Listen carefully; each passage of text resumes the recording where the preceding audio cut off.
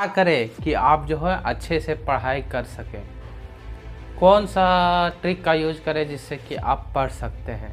तो सबसे पहले जो है आप पढ़ाई करने के लिए सबसे पहले जो है आप जो है पर्पस ठानिए कि आपका पर्पस क्या है? आप यदि वो उस काम को कर रहे हैं तो आपका पर्पस क्या है? मेन पर्पस क्या है कि आप क्या करना चाहते हैं? क्या है कि बहुत सा लोग होता है जैसे काम करता है तो मान लीजिए एक मजदूर को वो सुबह से शाम तक ले काम कर रहा है।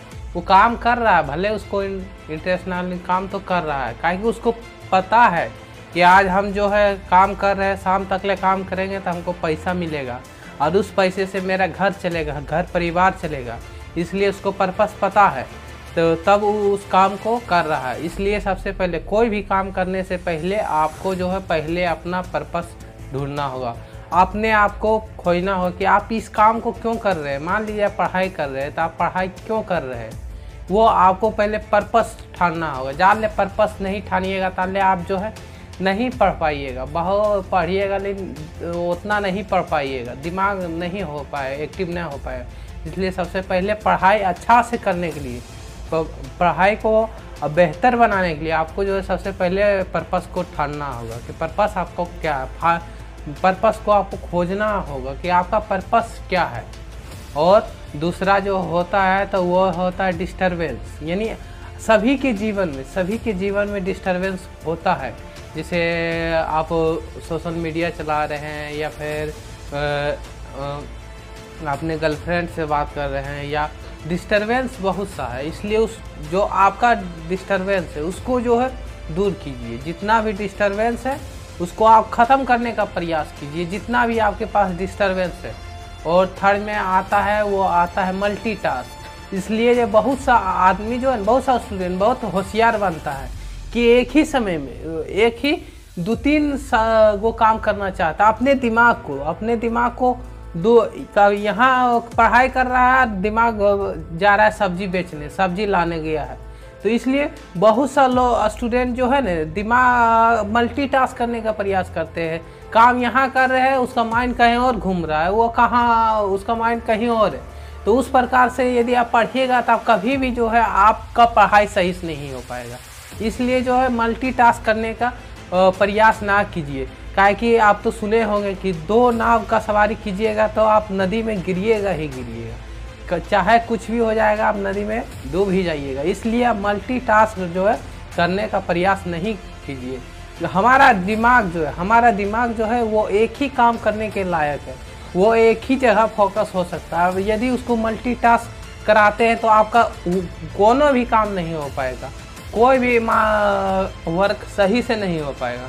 इसलिए एक ही काम कीजिए, लेकिन सही से कीजिए। और पूरा फोकस के साथ कीजिए। इसलिए मल्टीटास्क नहीं करने का प्रयास कीजिए। और यदि आपको जो है पढ़ाई में और अगला जो होता है वो पढ़ाई में इंटरेस्ट जगाइए।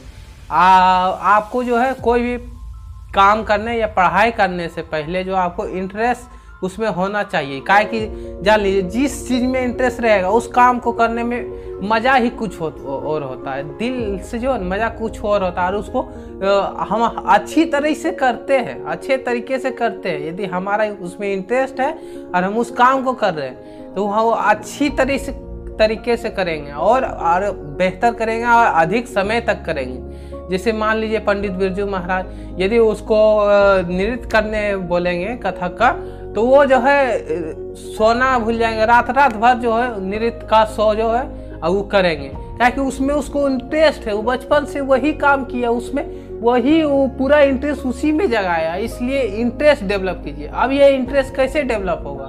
तो ये इंटरेस्ट डेवलप करने के लिए आपको जो है, सबसे पहले जो है, जो भी काम कर रहे हैं, उस काम को पहले देखिए, समझिए। और उसमें जो है, अब जो फालतू वाला काम जो है इन जैसे आप कोई भी काम कर रहे हैं तो उसमें इंटरेस्ट डेवलप कीजिए। इंटरेस्ट डेवलप कैसे होगा? मान लीजिए कि आपको इंटरेस्ट डेवलप करने के लिए सबसे पहले मान लीजिए कि हम पढ़ाई कर रहे हैं तो आप जो है पढ़ाई की, किस प्रकार करें जिसके, उसको में इंटरेस्ट डेवलप हो। जैसे एक बचपन का बात बताते हैं कि जब मम्मी काम देता था, कोई बोलो कोई भी टास्क मान लीजिए स्कूल में दिया तो मम्मी बोलती थी, पहले तुम ये काम करो ये पढ़ाई तुम पूरा कर लो, उसके बाद हम तुमको जो वीडियो गेम खेलने देंगे या मोटू पतलू देखने देंगे, मोटू पतलू. अब ये मोटू पतलू का नाम सुनते ही जो जो बच्चा मोटू पतलू को चाहता है वो जो है, ये सब सुनते ही वो फटाफट काम करेगा और बहुत स्पीड में करेगा और जल्दी जल्दी काम करने का प्रयास करेगा। तो तब वो वीडियो गेम देखेगा। उसी प्रकार जो है, आप जो है, अपने आप में इंटरेस्ट दीजिए रिवॉर्ड दीजिए। अपने आप को एथी दीजिए कि इंटरेस्ट जगाने के लिए रिवॉर्ड कि हम जो है, पचास मिनट मान लीजिए पढ़ेंगे तो दस मिनट जो है वीडियो गेम या फिर पबजी खेलेंगे। पबजी या फिर हो गया।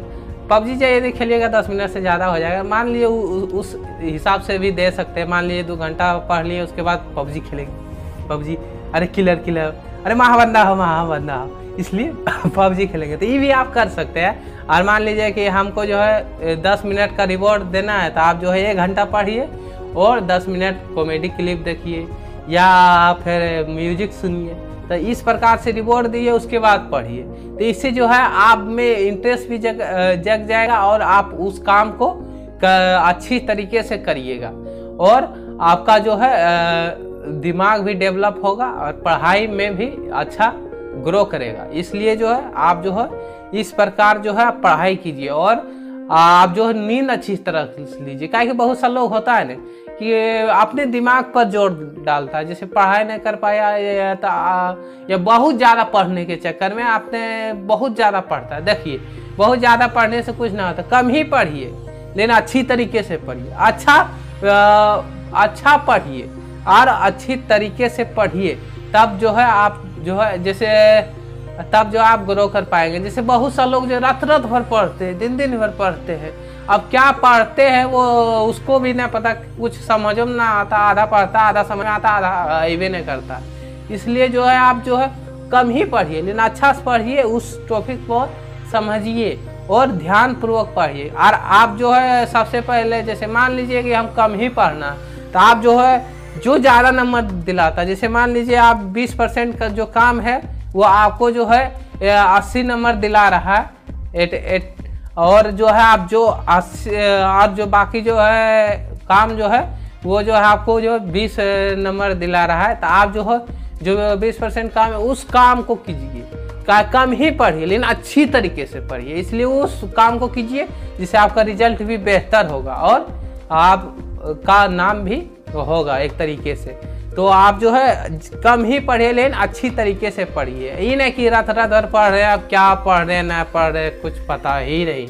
इसलिए उस प्रकार मत पढ़िए। जो भी पढ़िए, कम ही पढ़िए, लेकिन अच्छी तरीके से पढ़िए और इंटरेस्ट जगह जगह के। यदि हो सके, उस टॉपिक पर हो सके, यदि प्रैक्टिकल हो तो प्रैक्टिकल को कर के पढ़िए? क्या कि वो प्रैक्टिकल यदि कीजिएगा ना तो वो जो, उसका ड्यूरेशन बहुत लंबे समय तक ले होता है। कोई भी काम को यदि प्रैक्टिकल प्रैक्टिकली रूप में करते हैं तो उसका ड्यूरेशन बहुत ही लंबा होता है। इसलिए यदि हो सके तो क्या कि जो चीज़ हम छू के करते हैं ना, जो चीज़ हम छू के या देख के जो करते हैं, वो जो है बहुत दिनों तक ले रहता है इसलिए जो आप जो यदि हो सके तो प्रैक्टिकल के रूप में आप पढ़ने का प्रयास कीजिए। उससे जो आप ज़्यादा डेवलप कीजिएगा।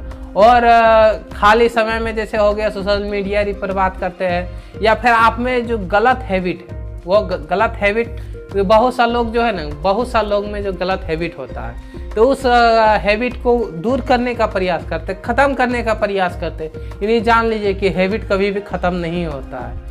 इसलिए आपको सिर्फ़ उसका रिप्लेस कर सकते हैं। ना कि उसको ख़त्म कर सकते हैं। आप कितनों भी अच्छा या बुरा आदत क्यों ना कितो भी बुरा आदत हो, यदि आप उसको ख़त्म करना चाहिएगा तो आप कभी भी उसको, आदत को आप ख़त्म नहीं कर पाइएगा।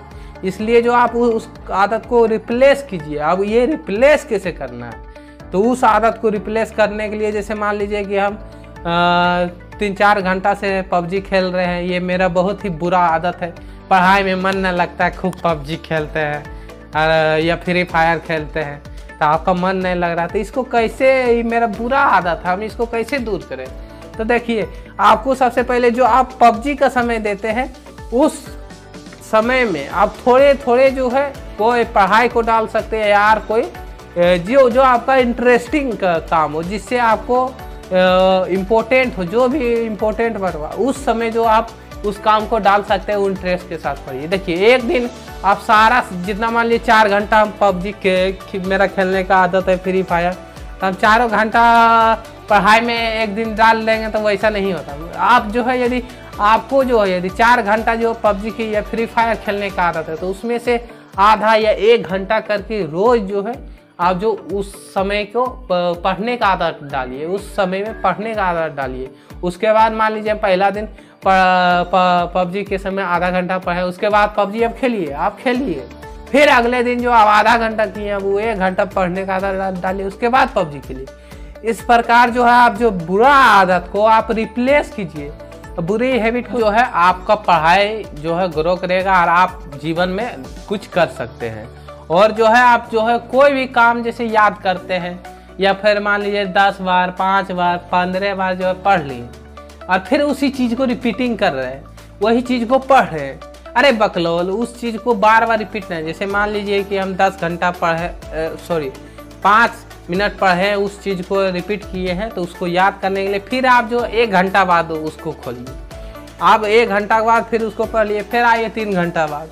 उस प्रकार जो आप देखते हैं, रहिए। जितना बार आप रिपीट कीजिएगा, ये ना कि यार हम आधा दो घंटा से एक ही चीज़ को रिपीट कर रहे था वैसे नहीं वैसे से आपका समय भी बर्बाद होगा। इसलिए थोड़ा पाँच पाँच मिनट देखिए मान लीजिए पाँच मिनट इसको पढ़ लिए फिर आप जो है एक घंटा बाद फिर उसी चीज़ उसी चीज़ को फिर से पढ़िए पाँच मिनट। उसी प्रकार जो फिर आप तीन घंटा बाद फिर उसी चीज़ को पढ़िए। तो इससे जो आपका ड्यूरेशन भी लंबा होगा और आ, याद रखने की स्मरण शक्ति भी बढ़ेगा। इसलिए आप जितना बार रि, रिवाइज करेंगे जितना बार उसको काम करेंगे उतना जो है आप में दिमाग में जो सेटअप होगा। और जो है आप कोई भी काम जैसे याद ना हो रहा है या कोई भी पढ़ाई में यदि याद नहीं हो रहा है तो आप जो है ट्रिक बना के पढ़िए। इस प्रकार बनाइए कि आपको जो वो चलते बुलते वो सब काम करते हैं। ट्रिक बना के करिए। जैसे मान लीजिए किसी एग्ज़ाम में तो एक क्वेश्चन है कि भारत के पड़ोसी देश कितने कितने हैं? तो, तो नाम है तो नाम तो उतना कोई ना कोई भूलिए जाइएगा इतने भारी नाम है देश का।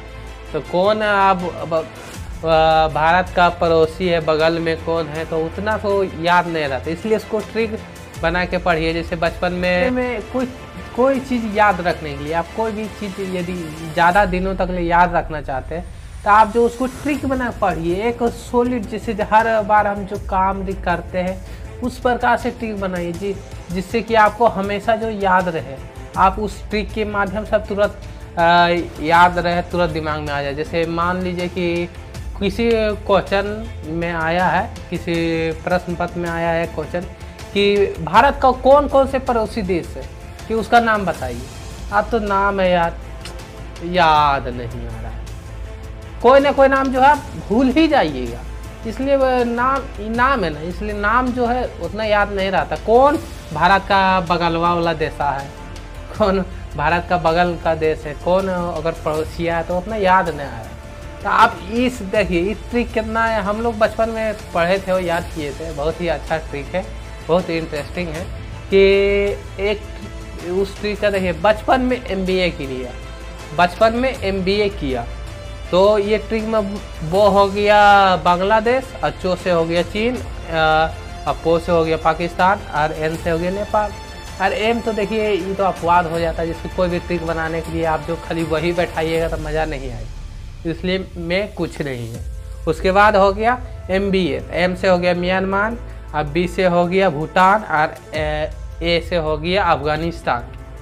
तो इस प्रकार जो आप इजी वे में इस प्रकार से आप ट्रिक बनाइए और उस जो डिफ़िकल्ट है, जो बार बार भूल जाते हैं तो उसको जो ईजी वे में ट्रिक बनाइए और उस ट्रिक के द्वारा जो आप अधिक दिनों तक ले यदि आप ट्रिक बना के उस काम को कीजिएगा तो अधिक दिनों तक ले जो है आपका याद रहेगा। इसलिए इस प्रकार से जो आप स्टडी कीजिएगा बहुत ही आ, अच्छा आपका रिज़ल्ट होगा। इसलिए और बहुत सारा